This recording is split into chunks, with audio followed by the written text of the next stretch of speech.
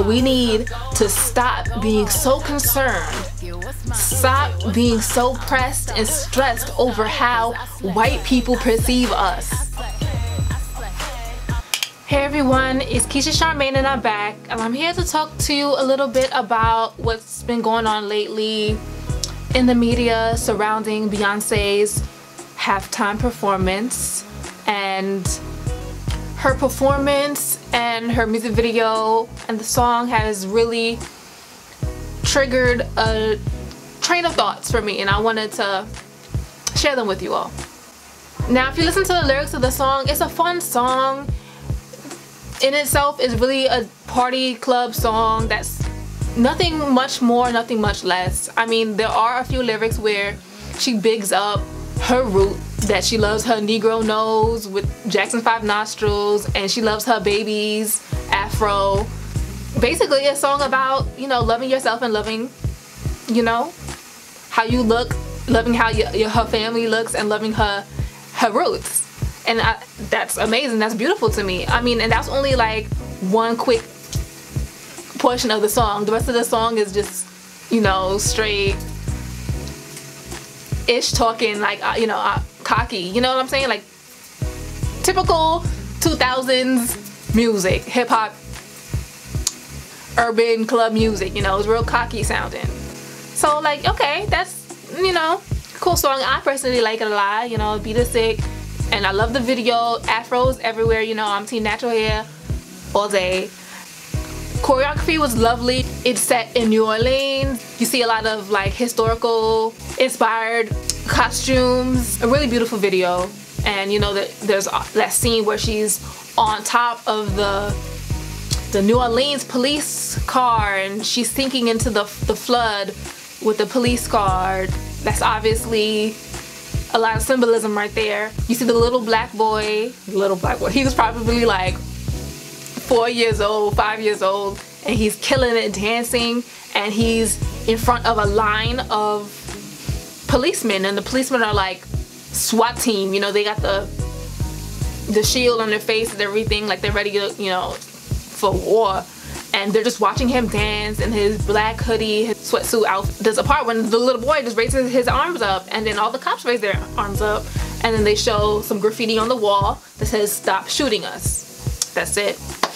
Um, that particular segment is the only part of the music video that's really directly relevant to current modern day issues regarding police brutality. A lot can be said about the sinking police car as well. Basically that was it and the song is fun. Typical modern day Beyonce in my opinion really fun really cocky you know club banger. Now her halftime performance people were so upset so upset calling Beyonce racist and all sorts of negative things I'm not even gonna get into who said what when and where I'm not gonna do that because I don't want to shine any light on them that's not what this video is for. I just want to really point out something. We don't have to say anything anti-white for people to think that we're anti-white. I don't understand the school of thought that being pro-black is anti-white. Just because I love who I am does not mean that I hate who you are. And people don't seem to understand that. The Black Panthers weren't anti-white. The Black Panthers were all about self-defense. They weren't going out attacking people. How dare you compare the Black Panthers to the KKK, the Ku Klux Klan. The Ku Klux Klan were terrorists, literally. Going completely out of their ways to terrorize, to kill, to destroy, to destroy black communities, the Black Panthers were all about protecting us.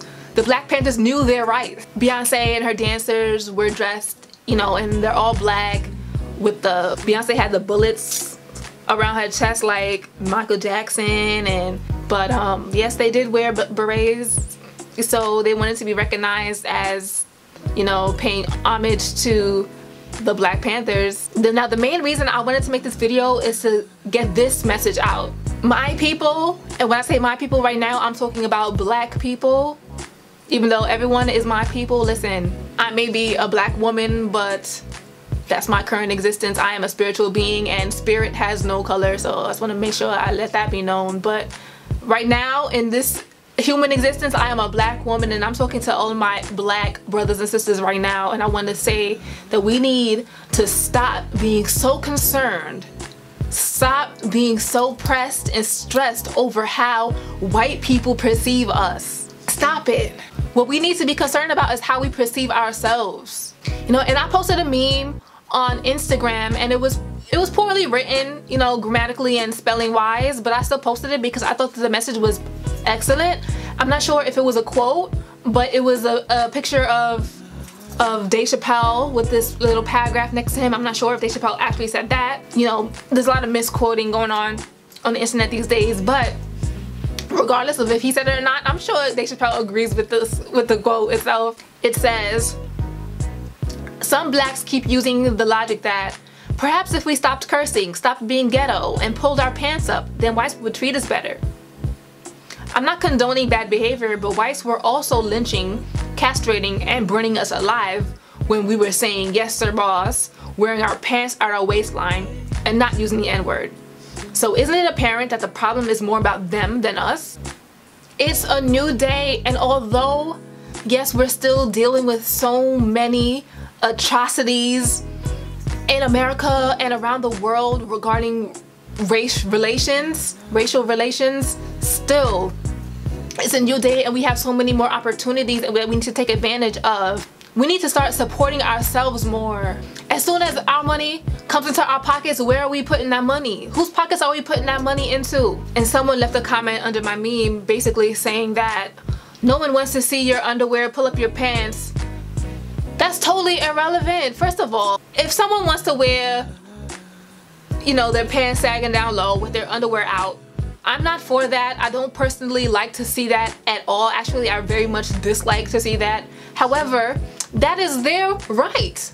And that doesn't mean that they're less deserving of life than someone who's wearing a belt at their waist. Like, come on, that's ridiculous. That's ridiculous. My thoughts are a little bit all over the place. I hope I'm making some sense basically what I wanted you to take away is to support black business people. There's nothing racist about loving yourself. Be proud of who you are. Be proud of the skin that you're in. You know, as long as you're not hurting anybody and if you are, you need to check yourself, you know.